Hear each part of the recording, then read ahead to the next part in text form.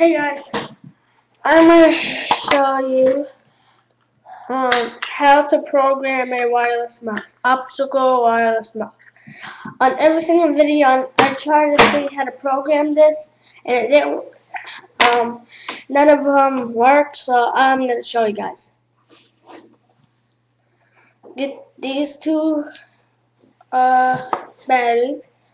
Get one, any kind double A batteries, and get one of them face it like this,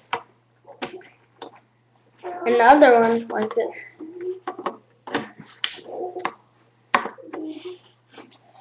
Okay, that, and then get this, plug it in,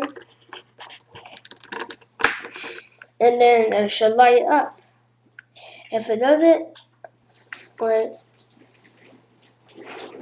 it'll be like this when you put it in the bag.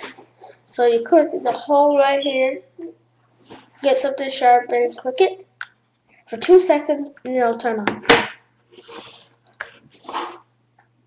Now time for the receiver part.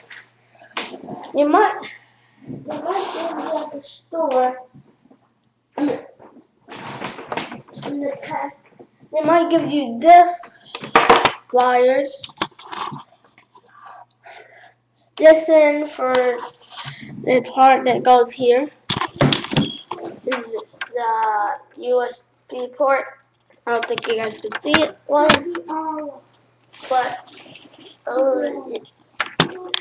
right here, you can see my finger.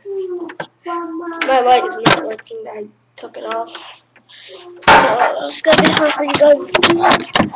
Okay, um, yeah, right. And then you plug it in. And then plug mine in. And then you get the other part that looks like this.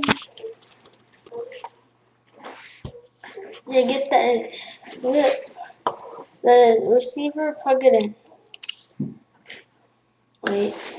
Oh, never mind. Good. I was gonna put it up. You plug it in, and it should beep like this. Yeah, like that. Then um, you're gonna have to program. It probably, if it will turn off like this for a little bit, and then um, with your other mouse, you will get uh, your computer. Uh, this should be something right there. And that's how you program. And then you click it, and that's how you program. Thank you for watching.